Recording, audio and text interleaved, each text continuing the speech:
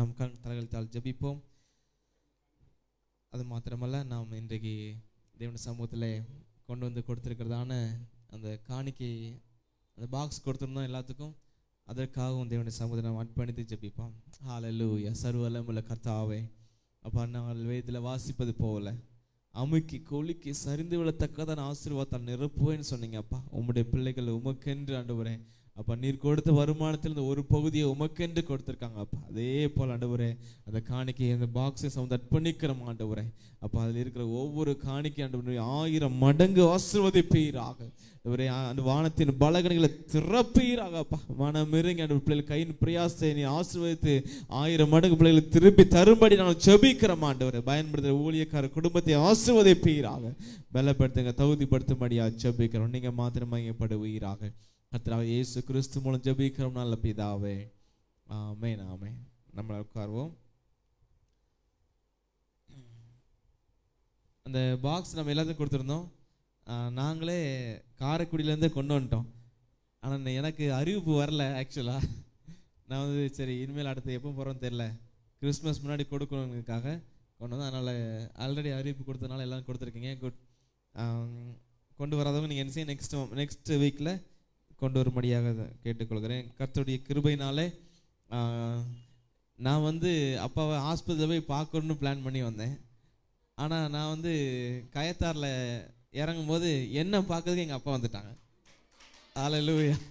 குடும்பமாக அம்மாவும் வந்து என்ன ரிசீவ் பண்ணாங்க வந்தாங்க நான் எதிர்பார்க்கவில்லை it is grace of God தேவனுடைய கிருபை அவன் அலையிலூயா அப்புறம் செய்தி கடந்து போக போகிறோம் வேகமாக செய்து முடிச்சுட்டு அப்படி நான் திருவிருந்து நமக்கு என்ன செய்கிறது இருக்கிறது நம்ம அதுக்கு ஆயத்தமாகும் நம்ம எல்லாரும் நான் தேவன சமூகத்தில் நான் காத்திருந்த வேலையில் கத்தர் மீண்டும் மீண்டும் ஞாபகப்படுத்தின ஒரு வேத பகுதி ஏசாயா அதன் ஐம்பத்தி ஐந்தாவது அதிகாரம்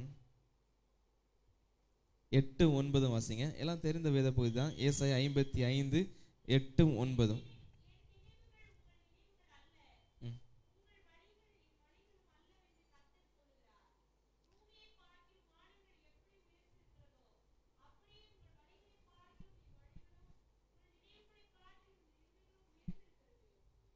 ஹலலூயா என் நினைவுகள் தேவன் என்னோட பேசின அந்த வார்த்தை என் நினைவுகள் உங்கள் நினைவுகள் அல்ல என்று அந்த வார்த்தை மீண்டும் மீண்டும் கடந்து வந்து கொண்டிருந்தது நேற்று அதிகாலையில் கூட நான் கா நான் அங்கே பஸ்லேருந்து இறங்கும் போது கர்த்தர் இதைத்தான் பேசும்படியாக தெளிவாக என்னோட பேசினதுனால நான் இதிலிருந்து செய்தி எடுத்திருக்கிறேன் கர்த்தர் நம்மோட கூட பேசுவாராக என் நினைவுகள் உங்கள் நினைவுகள் அல்ல நம்முடைய வாழ்க்கையிலே நாம் ஒவ்வொருவருக்கும் ஒவ்வொரு நினைவுகள் இருக்கிறது நம்ம எல்லாருக்கும் ஒரு நினைவு வச்சுக்கலாம் நம்முடைய எதிர்காலத்தை குறித்து நம்முடைய வாழ்க்கையை குறித்து நம்முடைய ஊழியத்தை குறித்து நம்முடைய குடும்பங்களை குறித்து ஒரு நமக்கென்று ஒரு நினைவு இருக்கிறோம் எப்படித்தான் இந்த என்னுடைய குடும்பத்தை நடத்த வேண்டும் அல்லது என்னுடைய வேலை வாய்ப்பு இப்படி இருக்க வேண்டும் அல்லது என்னுடைய படிப்பு இதை நான் செய்ய வேண்டும் என்று சொல்லி நம்ம ஒவ்வொருவருக்குமே ஒவ்வொரு நினைவுகள் இருக்கிறது உண்மைதான் ஆனால் ஆண்டவர் சொல்கிறார் உங்களுடைய நினைவுகள் என்னுடைய நினைவுகள் அல்ல நாம் எதை நினைக்கிறோமோ நாம் எதை சிந்திக்கிறோமோ அது நம்முடைய வாழ்க்கையில் என்ன செய்யாதான் நடக்காது என்று தேவன் சொல்லுகிறார் அது மாத்திரமல்ல நம்மளை குறித்து தேவன் எதை சிந்தி எதை நினைக்கிறாரோ நம்மளை குறித்து தேவன் எந்த வழியில நடத்தி கொண்டு போக வேண்டும் என்று விரும்புகிறாரோ அதே கத்தை என்ன செய்வாரோ நிறைவேற்றுவார் அல்ல லூயா ஆனால் அதுல ஒரு வித்தியாசம் என்னன்னா நீங்க எப்படி நினைக்கிறீங்களோ அல்ல நீங்க உங்கள் வழி எப்படி இருக்கும் நினைக்கிறீங்களோ அதை காட்டிலும் அவருடைய நினைவுகள் அவருடைய வழிகள் பெரியதாகத்தான் இருக்கும் லூயா அது எவ்வளவு பெரியதாக இருக்கும் பூமிக்கும் வானத்துக்கு எவ்வளோ உயரமும் அவ்வளோ பெரியதாக இருக்கும் என்று ஆண்டவர் சொல்கிறார் நல்லா கவனிங்க நம்முடைய வாழ்க்கையில் நாம் அநேக நேரம் சோர்ந்து போக வேண்டிய சூழ்நிலை நமக்கு வரும் பொழுது ஏன் நாம் சோர்ந்து போகிறோம் என்று சொன்னால் ஆண்டோடைய வழி என்ன அல்லது ஆணுடைய சித்தம் என்ன எதற்காக கத்தர் என்ன இந்த பாதையில் வழி நடத்துகிறார் என்று நாம் என்ன செய்யறோம் அநேக நேரம் தெரியாமல் இருப்பதுனால தான் நாம் சோர்ந்து போகிறோம் ஒரு சின்ன கஷ்டம் வந்தோடனே ஏன் ஆண்டவரை இப்படிப்பட்ட சோதனை ஏன் ஆண்டவர் இவ்வளோ பெரிய கஷ்டம் என் வாழ்க்கையில் வந்து விட்டது என்று சொல்லி நாம் என்ன செய்கிறோம் சோர்ந்து போக வேண்டிய அவசியம் என்ன என்று சொன்னால் ஆண்டவர் எதை என் வாழ்க்கையில நிறைவேற்ற தீர்மானித்திருக்கிறார் என்பதை நாம் என்ன செய்கிறோம் மறந்து போவதனால அல்லது அதை குறித்த ஒரு ஞானம் இல்லாததுனால நம்ம சோர்ந்து போகிறோம் பாஸ்டர் வந்து ஹாஸ்பிட்டலில் அட்மிட் ஆகணும் அப்படின்னு சொன்ன உடனே மிகப்பெரிய சோர்வாக இருந்துச்சு ஏன்னா ஆப்ரேஷன் நல்லா கவனிங்க இங்கே கவனிங்க ஆப்ரேஷன் என்று சொன்னாச்சுன்னா கிட்டத்தட்ட ஒரு ஆறு மாதத்துக்கு என்ன செய்ய முடியாது வெயிட்டான பொருள் தூக்க முடியாது ரொம்ப தூரம் ட்ராவல் பண்ண முடியாது அது பண்ண முடியாது இது பண்ண முடியாதுன்னு சொல்லி டாக்டர் என்ன அநேக அட்வைஸ் பண்ணுவாங்க இல்லையா அப்போ ஆப்ரேஷன் மிகுந்த சோர்வாக இருந்துச்சு நாம உடனே என்னாலையும் கிளம்பி வர முடியல சைமனும் உடனே என்ன செய்ய முடியும் வர முடியாது கிட்டத்தட்ட ஏழு மணி நேரம் அவனுக்கு ஒரு பன்னெண்டு மணி நேரம் ட்ராவலு அவன் உடனே கான்ஸ்டன்ட் நாங்கள் அவன் ஃபோன் பண்ணாங்க நைட்டில் ஸ்டீஃபன் நீ பயப்படாதேன்னாங்க அல்ல லூயா ஒரே வார்த்தை ஸ்டீஃபன் நீ பயப்பட வேண்டாம் நாங்கள் இருக்கோம் நாங்கள் நினச்சிக்கிறோம் நாங்கள் பார்த்துக்கிறோம் அலை லூயா அதனால் நல்ல ஒரு விஸ்வாச குடும்பத்தை வி ஆர் அ ஃபேமிலி அலை லூயா ஒரு ஒரு பாஸ்ட் பையன் தான் பார்க்கணும் இல்லை நீங்கள் தான் பார்க்குறோம் அலை லூயா நீங்கள் தான் பார்க்குறீங்க அலை லூயா நாங்கள் தூரத்தில் இருந்தாலும் it is you are taking care நீங்கள் தான் செய்யும் பாஸ்ட் குடும்பத்தை பார்க்குறீங்க அது ரொம்ப எனக்கு அவங்க நீங்கள் அவங்க நீங்கள் வந்து பதட்டப்படாத நீங்கள் என்ன செய்ய பாஸ்ட்டை பேசிட்டு எப்போ நீ வரணும் முடியுமோ வா நாங்கள் பார்த்துக்கிடுறோம் ஃபினான்ஷியல் நீ கஷ்டப்பட வேண்டாம் நாங்கள் பார்த்துக்கிறோம் எல்லாமே நீங்கள் நாங்கள் பார்த்துக்கிடுறோம்னு சொன்னால் எனக்கு ஒரு ஆறுதலாக இருந்துச்சு அந்த வார்த்தைகள் ஓகே அப்போது நான் அப்பாடு கேட்டேன் சைமன் வர்றான் நீ என்ன செய் சண்டே வர்ற மாதிரி எனக்கு லீவு கிடைக்காது அதனால் ஒரு நாள் தான் லீவு அதனால் நீங்கள் சண்டே வர மாதிரி வான்னு சொல்லி அப்பாவும் சொன்னாங்க கடைசியில் பார்த்தீங்கன்னா அது எல்லாத்தையும் ஆண்டர் மாற்றிட்டார் நான் வராமலே இன்னைக்கு கூட வர வேண்டிய அவசியம் இல்லை அந்த மாதிரி மாறிவிட்டது அல்ல லூயா நாம் அதான் தேவனுடைய வழி என்ன நாம் என்ன சிந்திக்கிறோம் நாம் போய் தான் ஆலயத்தை நடத்தணும் நாம் போய் தான் செய்தி கொடுக்கணும் நான் போனால் தான் சண்டே சர்வீஸ் நடக்கும் அப்படின்னு நாங்கள் பிளான் பண்ண நான் பிளான் பண்ணோம் ஆனால் ஆண்டவன் நினைக்காரு நீ நினைக்காது நடக்காது அப்பா உங்க உன் செய்தியை கேட்கும்படியாக நான் வைத்திருக்கிறேன்னு சொல்லிக்கிறார் அல்ல லூயா நான் அப்பா ஹாஸ்பிட்டலில் இருப்பாங்க நம்ம தான் இங்கே வந்து செய்தி கொடுக்க போகிறோம் நினச்சோம் ஆனால் ஆண்டவர் சித்தம் பாருங்கள் அப்பாவே எனக்கு செய்தி கொடுக்கக்கூடிய லெவலில் நல்ல சுகத்தோடு கத்தரை கொண்டு வந்திருக்கிறார் அலையலூயா சரி வந்துட்டுமே அப்படின்னு நான் இன்னைக்கு பேசிட்டு இருக்கிறேன் அலையலூயா பல ரொம்ப நாள் ஆச்சு உங்க நம்ம சபையில பேசி இல்லையா ஓகே கத்தை நம்மளோட கூட அதான் தேவன் சிந்திக்கிற விதம் அதுக்கு சொல்றேன் தேவன் சிந்திக்கிற விதம் வேற நாம் செயல்படுகிற நாம் சிந்திக்கிற விதம் வேற அவருடைய சிந்த ஒரு வேத ஒரு ஒரு பைபிள் தமிழ் இன்னொரு டிரான்ஸ்லேஷன் சொல்லுறது அவருடைய சிந்தனை வேறு மாதிரி இருக்குமா நம்ம நம்ம சிந்திக்கிற சிந்தனை வேற ஆண்டவர் சிந்திக்கிற சிந்தனை வேற நல்லா கவனிங்க எதுக்கு நான் இதை சொல்றேன்னா எந்த அளவுக்கு நம்ம ஆண்டவரை அறிகிற அறிவில் நாம் வளர்கிறோமோ அந்த அளவுக்கு நம்முடைய வாழ்க்கையில் சமாதானம் அவருடைய கிருபைகள் என்ன செய்யுமா பெருகும் என்று வேதத்தில் வாசிக்கிறோம் சமாதானத்துக்கும் கிருபைக்கும் நம்மகிட்ட இருக்கிறது ஆனால் அது என்ன செய்ய வேண்டும் பெருக வேண்டும் அந்த ஒரு பெருக்கம் என்கிறதான ஒரு குவாலிட்டி அந்த சமாதானத்துக்கு கிருபைக்கு இருக்கிறது அப்போ நமக்கு நம்ம ஆண்டோட கிருபையாக இருக்கிற உண்மைதான் அந்த கிருபை என்ன செய்யணும் ஒவ்வொரு நாளும் பெருக வேண்டும் எப்போ பெருகும் அப்படின்னா நீங்கள்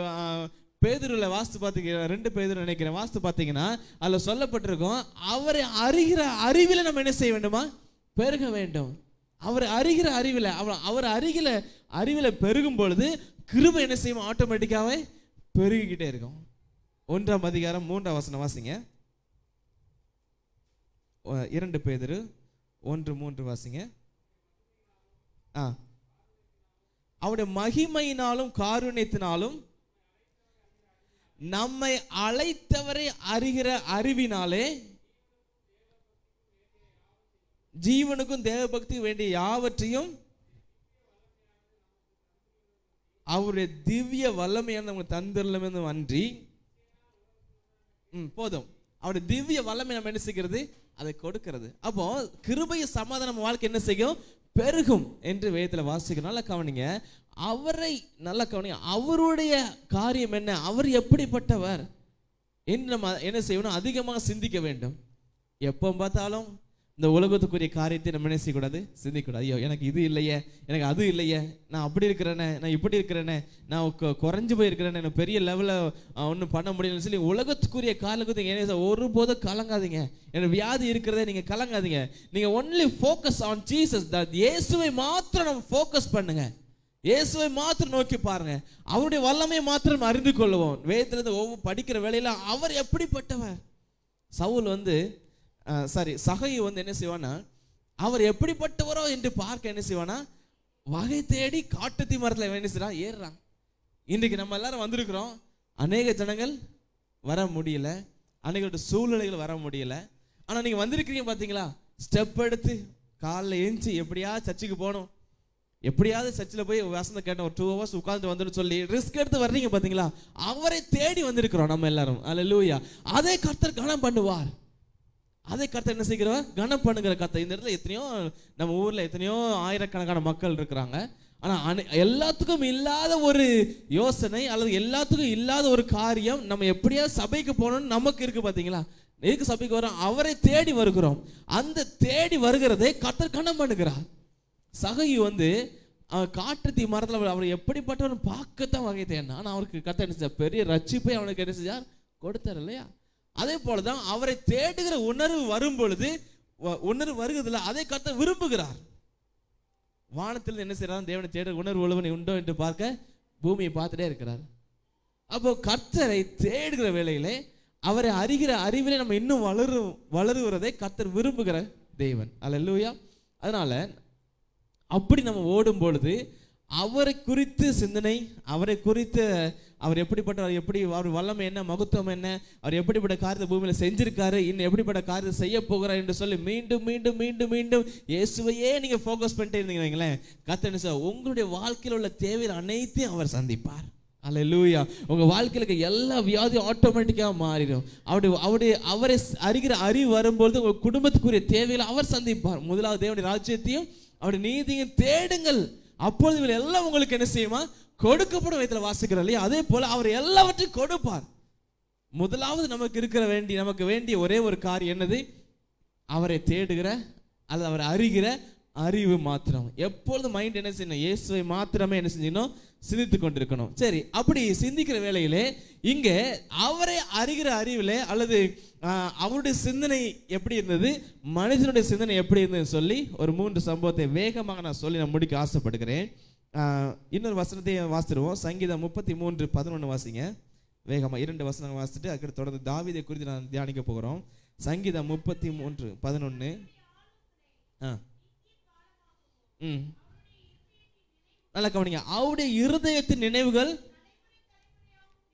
தலைமுறை தலைமுறையாகவும் நிற்கும் அல்ல லூயா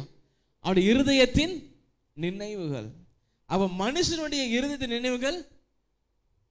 தலைமுறை தலைமுறையாக நிற்காது அவருடைய இருதயத்தின் நினைவுகள் மட்டும்தான் என்ன செய்யுமா தலைமுறை தலைமுறைக்கும் நிற்கும் கவனிய கவனிங்க உங்களை ஆசிர்வதிக்கணும் விரும்புகிறாருன்னா அவனை ஆசிர்வதித்திருக்கிறாருன்னா அந்த ஆசீர்வாதம் எப்படி இருக்கும் தலைமுறை தலைமுறைக்கும் இருக்கும் அது ஒரு குறைவுமே இருக்காது அதில் மனிதன் புரிஞ்சுக்கலாம் ஆனால் நம்மளா ஒரு காரியத்தை எடுக்கும் பொழுது அது பிரச்சனையில் போய் என்ன செய்யும் மாட்டும் அது நம்ம ஒரு கஷ்டத்தில் போய் நம்ம என்ன செய்ய மாட்டிக்கொண்டது போல தோணும் ஆனால் ஆண்டவருக்கு நம் இடம் கொடுத்து அவருடைய வழியில் நம்ம நடக்கிற வேலையிலே அவர் என்ன செய்வார் நித்திய நித்தியமாக அவருடைய நினைவுகளை அவர் நினைவுகள் இருக்கத்தக்கதாக உதவி செய்வாராம் அவ்வளோ இறக்கம் உள்ள கருத்து அப்போ எது முக்கியம் அவருக்கு நம்ம விட்டு கொடுப்பதான் முக்கியம் அல்ல லூயா நம்மளாம் என்ன செய்யக்கூடாது ஒரு காரியத்தை இறங்கவே கூடாது அவர் சம்மந்தம் ஒப்பு கொடுத்தணும் அப்போ அவர் என்ன நினைக்கிறாரோ அவர் நித்திய நித்தியமாக அந்த நினைவுகளை என்ன செய்வார் அவர் செஞ்சுக்கிட்டே இருப்பார் இன்னொரு வசந்த வாசிங்க இறைமையாவில் இருபத்தி மூன்று வசனம் எப்படியா சொல்லுகிறது இருபத்தி மூன்று இருபதில் கொஞ்சம் வாசிங்களேன் இறைமையா இருபத்தி மூன்று இருபது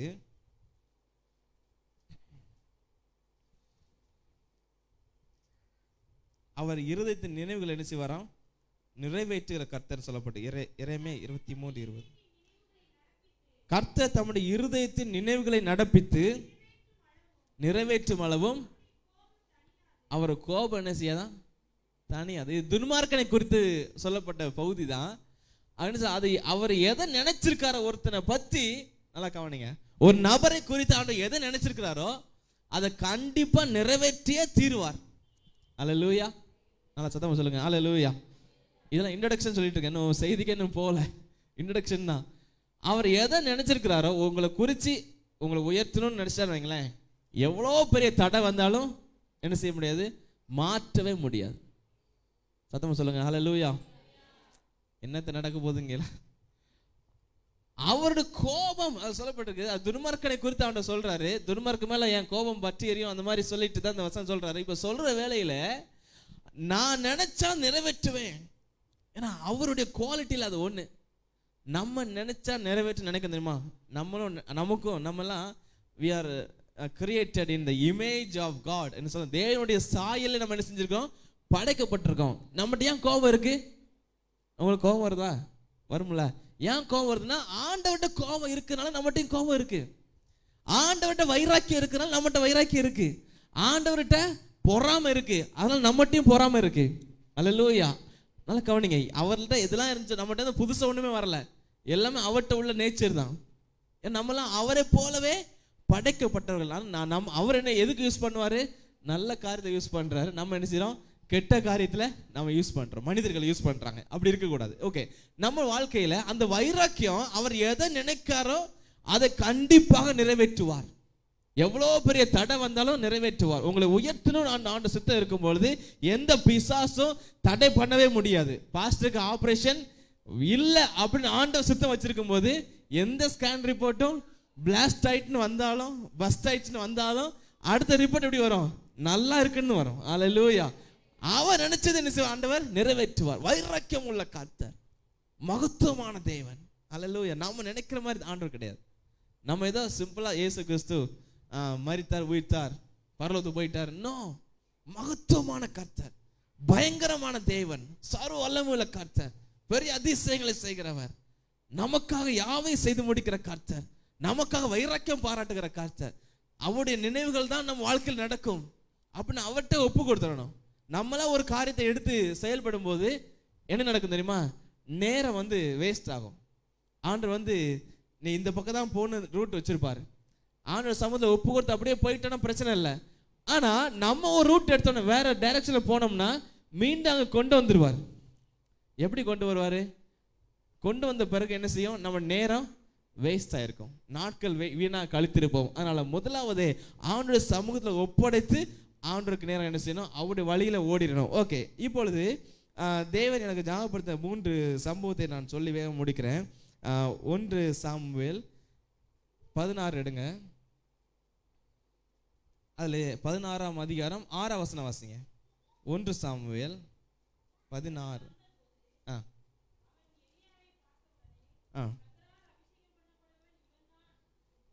யார் சொன்னது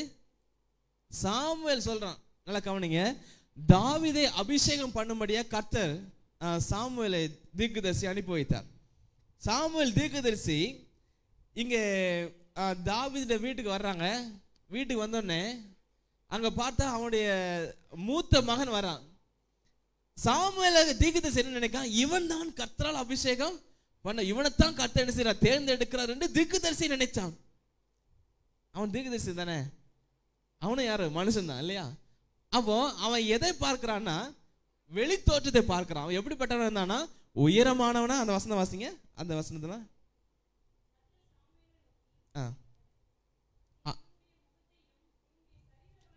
சார் ஆ ஏழாம் வசனம் கத்த சாமுவேலிடம்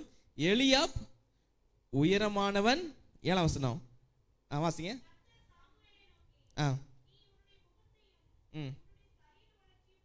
முகத்தையும் சர வளர்ச்சியும் பார்க்க வேண்டாம் ம்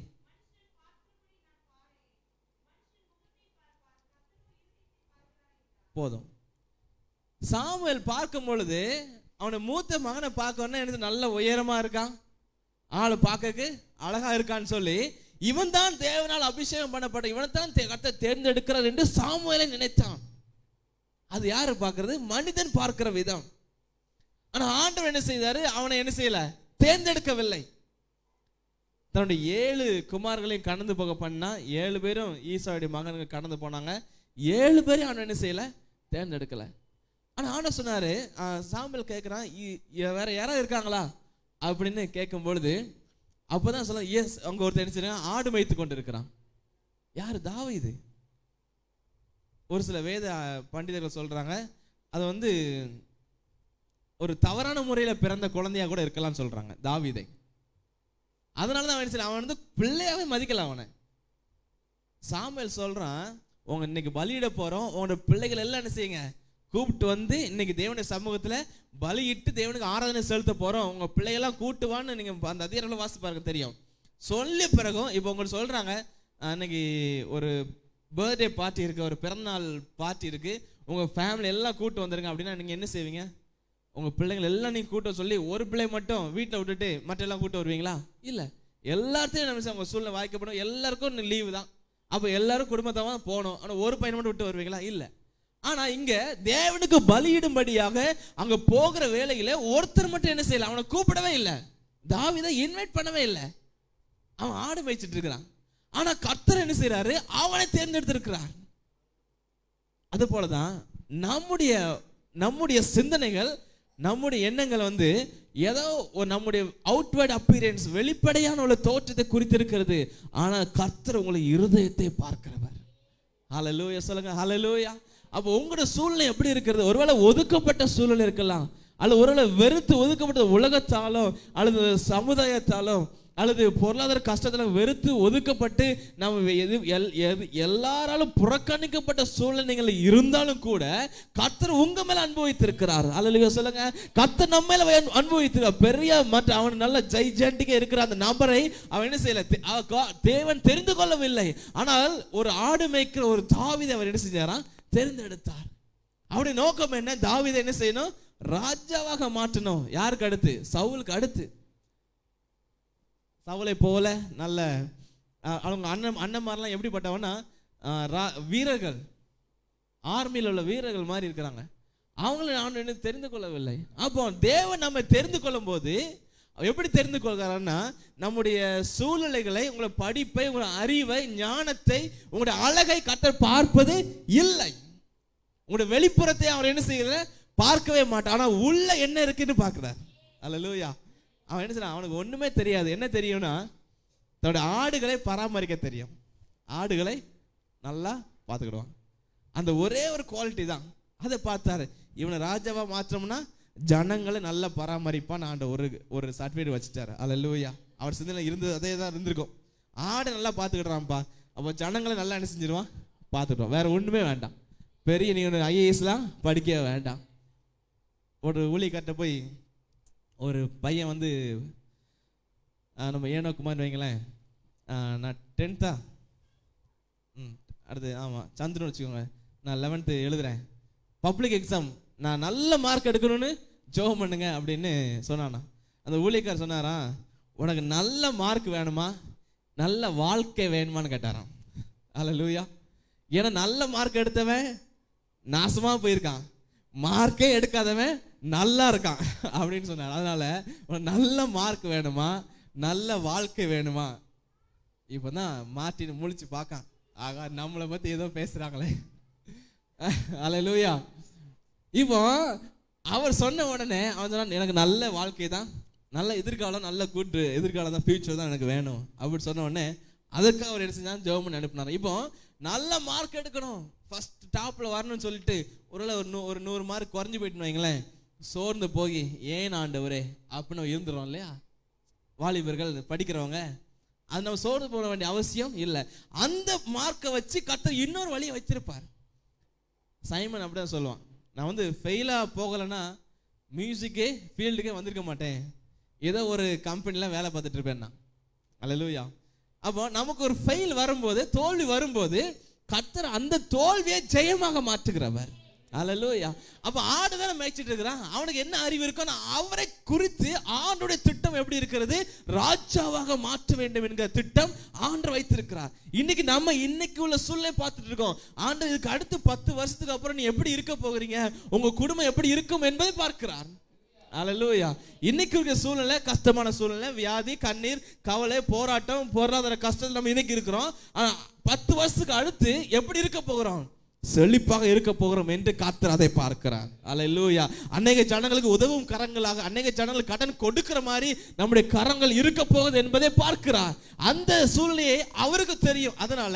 உங்களுக்கு இருக்கிற இந்த சூழ்நிலை நீங்க என்ன செய்யாதீங்க சோர்ந்து போக வேண்டிய அவசியம் இல்லை அதான் கத்தர் என்ன செய்கிறார் நம்முடைய இருதயத்தை பார்க்கிற கத்தர் அதான் தாவது என்ன செஞ்சார் ராஜாவாக மாற்ற தகுதி இல்லாத அவனை தகுதிப்படுத்தினார் அந்த நான் ஃபஸ்ட்டு வாசம் ஏசா ஐம்பத்தைந்து வாசம் பார்த்தீங்களா அதில் மூன்றாம் வசனம் நினைக்கிறேன் அதை வாசிங்க ஏசாய் ஐம்பத்தைந்து இப்போ வாச வசனத்தில் மூணு ஆ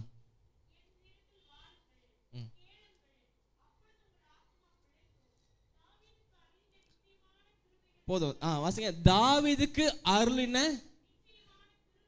நிச்சயமான கிருபைகளை உங்களுக்கு போதும் நல்லா கவனிங்க தாவிதுக்கு அருளி அருளின கிருபை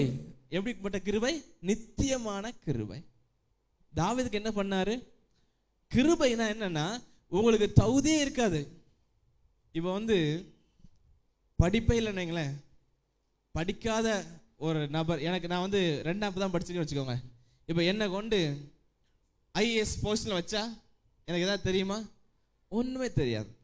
ஆனால் கர்த்தர் நினைச்சா அந்த ஞானத்தை தர முடியும் அலலோயா தாவிதுக்கு அந்த நித்திய கிருபையை கொடுத்தார் அவனுக்கு தகுதியே கிடையாது ராஜாவாக மாறுவதற்கு எந்த தகுதியுமே கிடையாது அவனுக்கு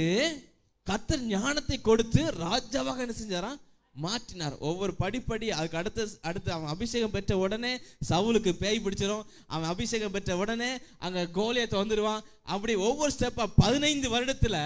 கத்த அவனை சார் பரிபூர்ணமான ஞானத்தை கொடுத்து ராஜாவாக என்ன அவனை மாற்றிட்டார் அபிஷேகம் பெற்று ஆஃப்டர் ஃபிஃப்டீன் இயர்ஸ் என்று வரலாறு சொல்ல பதினைந்து வருடங்கள் கழிச்சு அவன் எவ்வளோ கஷ்டப்பட்டிருப்பான் எவ்வளோ பாடுபட்டிருப்பான் அதெல்லாம் கழித்து ஆனால் அவனோட திட்டம் என்ன ராஜாவாக மாற்று அப்போ கர்த்தர் உங்களை குறித்து வைத்திருக்கிற திட்டங்கள் உங்கள் நினைவுகள் எனக்கு இந்த வேலை போதும் எனக்கு இந்த ஊழியம் போதும் நல்லா சம்பளம் வருது அல்லது இந்த பிஸ்னஸில் கொஞ்சம் பரவலாமல் ஓடிட்டுருக்கு வண்டி வச்சிருக்கோம் அது வச்சிருக்கோம் அதை வச்சு கார் வச்சிருக்கோம் ஓகே ஒரு வீடு இருக்கு சொந்தமா போதும் அப்படின்னு நீங்க நினைச்சிட்டு இருக்கீங்களா அங் உங்கள் நினைவுகள் அவரோட நினைவுகள் அல்ல எனக்கு சுகர் வியாதி வந்துட்டு போகாதுன்னு நினைக்கிறீங்களா உங்க நினைவுகள் அவரோட நினைவுகள் அல்ல அது போயிடும் சத்தம் சொல்லுங்க அலலூயா சுகர் வியாதி உள்ளவங்க மட்டும் சொல்லுங்க அலலூயா ஒரு சிலருக்கு சுகர் இருக்குல்ல வெரி குட் அலலூயா நம்ம நினைக்கிறோம் நமக்கு போகாதுன்னு ஆனால் ஆண்டவர் அது போயிடும் நம்ம நினைக்கிறோம் ஆப்ரேஷன் ஆயிரும்னு ஆனால் நினைக்கிறோம் ஆப்ரேஷன் வேண்டாம் நம்ம நினைக்கிறோம் இதே கஷ்டத்தை தான் போகணும்னு சொல்லி ஆனால் ஆனால் சொல்கிறார் நீ கஷ்டத்தை பட வேண்டாம் அவசியம் இல்லை இன்னைக்கு நீ கடனோடு இருக்கிறாயா நாளைக்கு கடன் கொடுக்க மாதிரி மாற்றுவார் உங்கள் நினைவுகள் அவருடைய நினைவுகள் அல்ல இன்னொரு சம்பவத்தை வாசிப்போம் ஆம் முப்பத்தி ஏழு பதினெட்டு வாசிங்க அதில் யோசிப்பை பற்றி ஒரு அஞ்சு நிமிஷம் வேகமாக முடித்தது ஆதி முப்பத்தி ஏழு பதினெட்டில் அவனுடைய யோசி ஆ ம் ம் ம் போதும் இங்கே யோசேப்போட சம நம்ம எல்லாம் நம்ம வாசித்திருக்கிறோம் நம்ம மீண்டும் மீண்டும் அதை நான் சொல்ல விரும்பலை வினோ எவ்ரி நம்ம தான் தெரிஞ்சிடும் யோசேப்புடைய சகோதரன் செஞ்சாங்க யோசேப்பை கொலை செய்யும்படியாக சதி யோசனை பண்ணினார்கள் அது யாருடைய யோசனை மனுஷனுடைய சிந்தனை மனுஷனுடைய வழிகள் ஆனால் ஆணுடைய ஆணுடைய சித்தம் என்ன யோசேப்பையும் ராஜாவாக மாற்றுறது தான் ராஜாவுக்கு அடுத்த ஸ்தானத்தில் ஆல்மோஸ்ட் ஆல்மோஸ்ட் கிங் கிட்டத்தட்ட ராஜா தான் மனிதனுடைய யோசனை எப்படி இருக்கும் நம்மளை கொலை செய்யும்படியாக அல்ல நம்மளை எப்படியாவது கீழே தள்ளிடணும் எப்படியாவது வாழ்க்கையில் தாழ்வு வந்துடாதா என்று சொல்லி பார்க்கிற ஜனங்கள் இருப்பாங்க ஆனால் ஆண்டோடைய சித்தம் எப்படி இருக்குமா அவனை ராஜாவாக மாற்ற வேண்டும் என்பது ஆண்டோடைய சித்தம் அப்போ யோசிப்புடைய வாழ்க்கையில் கூட அவனை எவ்வளோ அற்புதம் செஞ்சாங்க பார்த்தீங்களா அன்னைக்கு நினச்சிருந்தா அவங்க சகோதரர் கொலை செஞ்சுருப்பாங்க தப்பு வித்தார் ஆண்டவர் குழியில் தூக்கி போட்டாங்க சரி கொலை செய்ய வேண்டாம்ப்பா ஜஸ்ட் என்ன செய்வோம் அவனை வித்துருவோம் அப்படின்னு சொல்லி ஒரு சின்ன எஸ்கேப் தருவார் திராணிக்கு தக்கதாக நம்ம என்ன செய்கிறார் திராணிக்கு மேலே என்ன செய்ய மாட்டாரா சோதிக்க மாட்டார் ஏதோ பிரச்சனை வருதா அதை தாங்கிக் கொள்ளக்கூடிய சக்தியை பலனையும் அதை தப்பித்துக்கொள்ள வழியை என்ன செய்வாரா யாருக்கு யோசிப்புக்கு ஆண்டவர் கொடுத்தாரு தப்பித்துக்கொள்ள அவரே தப்பு வைத்தார் அலலூயா அங்கே போய் தப்பு வச்சு மாத்திரமல்ல கொஞ்ச நாளில் தேர்ட்டின் இயர்ஸ் நினைக்கிறேன் பதிமூணு வருஷம் நினைக்கிறேன் ராஜா வாகத்தை செஞ்சிட்டார் மாற்றிட்டார் அதே மாதிரி நம்ம நினைக்கிற மாதிரி ஆண்டு என்ன செய்ய மாட்டார் அவன் ஒருபோதும் ராஜா வரணும்னு ட்ரை பண்ணானா கட்சி ஆரம்பித்தானா இல்லையே ராஜாவாக மாறிட்டானே அலலூயா நம்ம வந்து ட்ரை பண்ண வேண்டாம் ஐஸ்வர்யவானாக வேண்டும் என்று பிரயாசப்படாது பிரயாசப்பட்டு சிறுக சிறுக சேமித்து பெரிய லெவலில் வரணும்னு பிரயாசப்படவே வேண்டாம் கர்த்தனமே நம்ம ஆசிர்வதிப்பா அதில் லூயா நம்ம கையின் பிரயாசம் கண்டிப்பாக ஆசிர்வதிப்போம் நம்ம ஆசீர்வாதமாக தான் இருப்போம் இன்னொரு சம்பவத்தை சொல்லி முடிச்சது டைம் ஆயிடுச்சு மத்திய பதினாலு நீங்கள் எடுத்துக்கிட்டிங்கன்னா அதில் அதில் சொல்லப்பட்டிருக்கிறது சீஸ்டர்கள் வந்து என்ன செய்வாங்கன்னா வாசிங்க சிஸ்டர் இல்லைன்னா வாசிங்க மத்திய பதினான்கு பதினாறு ஃபோர்டீன் சிக்ஸ்டீன் ம் நீங்களே அவர்களுக்கு இப்போ ஏசு கிறிஸ்துவிட வந்து திரளான ஜனங்கள் வந்து அவருடைய போதனைகளை கேட்டுக்கொண்டு இருந்தாங்க இப்போ போதனைகள்லாம் முடிச்சு முடித்த உடனே அவனு சொல்கிறான் நீங்கள் என்ன செய்யுங்க அவங்களுக்கு போஜனம் கொடுங்கள் சாப்பாடெலாம் கொடுங்க அப்போ அப்படின்னா கிட்டத்தட்ட ஐயாயிரம் பேர் இருக்காங்க ஃபைவ் தௌசண்ட் மென் ஆண்கள் இருக்கிறாங்க ஐயாயிரம் பேர் இருக்கிறாங்க இடத்துல சாப்பாடு எப்படி கொடுக்க முடியும் ஏன் கொடுக்க முடியாது அப்படின்னா அதுக்கு முந்தின வசனம் வாசித்தீங்கன்னா பதினஞ்சில் அது ஒரு வனாந்தரமான இடம் அது மாத்திரமல்ல அங்கே டைமும் ஆயிட்டு நேரமும் ஆயிடுச்சு என்று சொல்லப்பட்டிருக்கிறது அது வனாந்தரம் அந்த வனாந்தரத்தில் சாப்பாடு கிடைக்கிறதுக்கு வழியே கிடையாது சான்ஸே இல்லை இந்த சொல் ஆண்டவர் சொல்கிறார் நீங்கள் சாப்பாடு கொடுங்கள் இவன் என்ன சொல்கிறாங்க ஆண்டவரே எங்கிட்ட இருக்குது அஞ்சு அப்பமும் ரெண்டு மீன் தான் இருக்கு இருக்குது வேற ஒன்றுமே இல்லை இது ஒரு ஆள் கூட சாப்பிட முடியாது ஒரு சின்ன பையன் சாப்பிடக்கூடிய சின்ன குழந்தை சாப்பிடக்கூடிய ஒரு பொருள் அப்போ அஞ்சு அப்போ ரெண்டு மீன் வச்சு ஒன்றுமே பண்ண முடியாது ஆனால் ஆண்டவர் சொன்னார் நீங்கள் என்ன செய்யுங்க நீங்கள் கொடுங்க பந்தி இருக்க கட்டளையிடன்னு சொன்னார் அதை ஆசிர்வதித்து அது பழுகு பெருகியது அல்ல லூயா நல்லா கவனிங்க உங்களால் என்ன செய்யாது முடியாது மனிதனால் என்ன செய்யாது கூடாதான் ஆனால் தேவனால் எல்லாம் கூடும் என்று வேதம் சொல்லுகிறது அதனால் இன்றைக்கு எந்த சூழ்நிலை வந்திருக்கிறீங்களோ உங்களால் முடியாதுன்னு நினைக்கிறீங்களா அந்த இடத்துல கத்திர இன்னைக்கு ஆசிர்வதித்து முடியும் என்று உங்களை சொல்லி அனுப்புகிறார் அலை லூயா உங்களால் முடியாதான தேவனால் எல்லாமே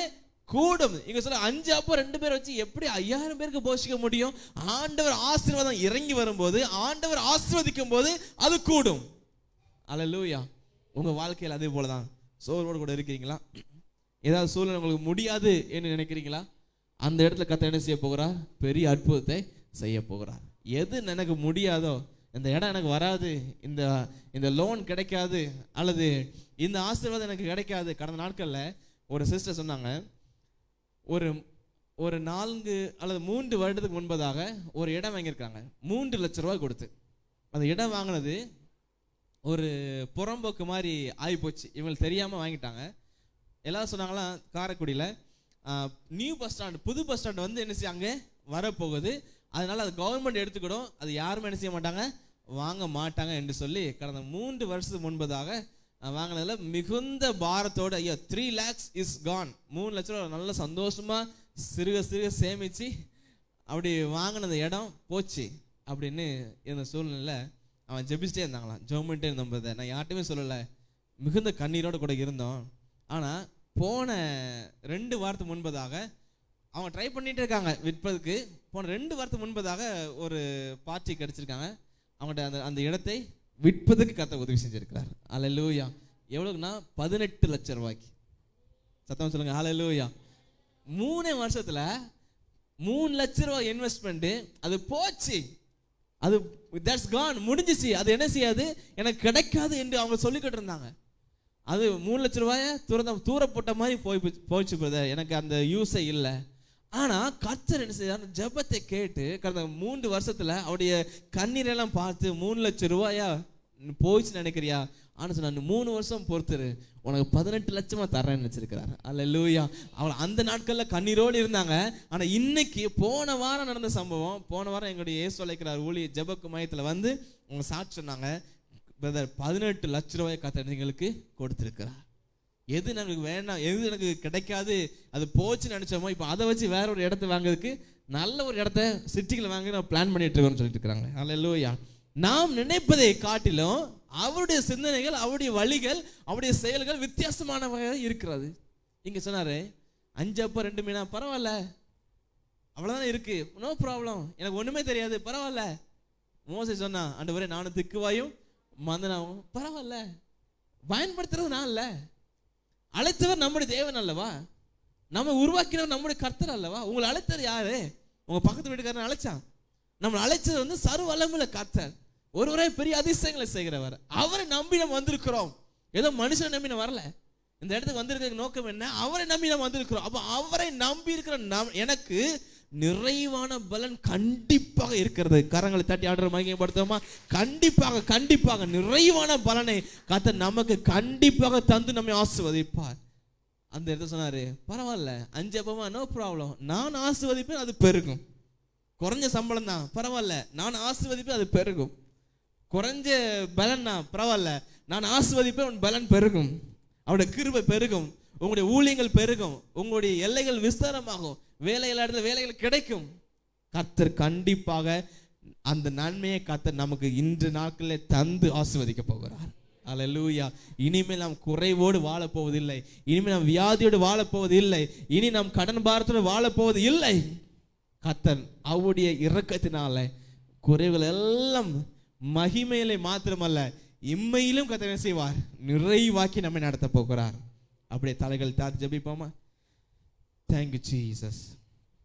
ஒரு விசை கூட ஆண்ட சமூகத்தில் ஆண்ட தெளிவாக நம்ம பேசியிருக்கிறார் அவரை நம்பி வந்தால் போதும் அன்னைகளுடைய அன்னைகளுடைய குடும்பத்தில் ஒரு சோர்வோடு நீங்கள் வந்திருக்கீங்க சோர்வலை காத்திரி இப்பொழுதே எடுத்து போடப்போ நான் இப்பொழுது ஜபிக்க போகிறேன் ஜெபிக்கிற வேலையில்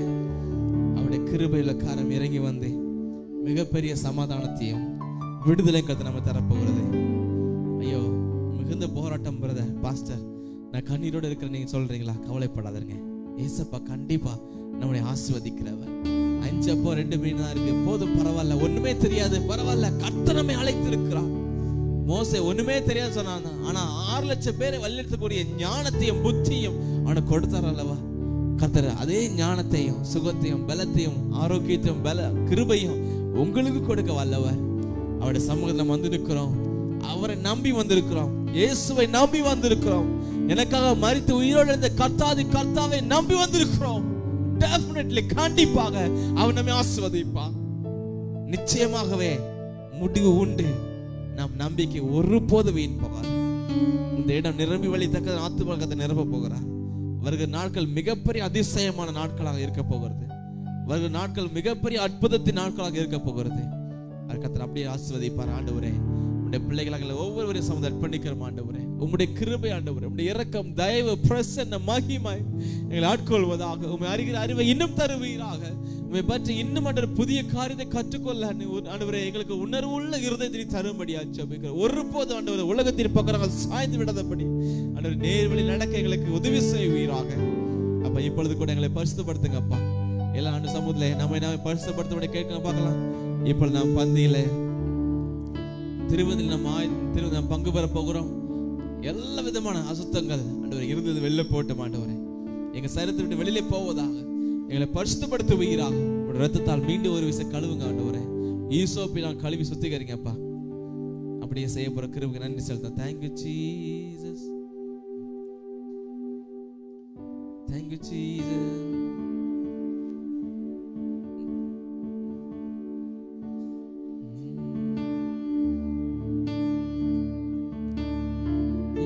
God.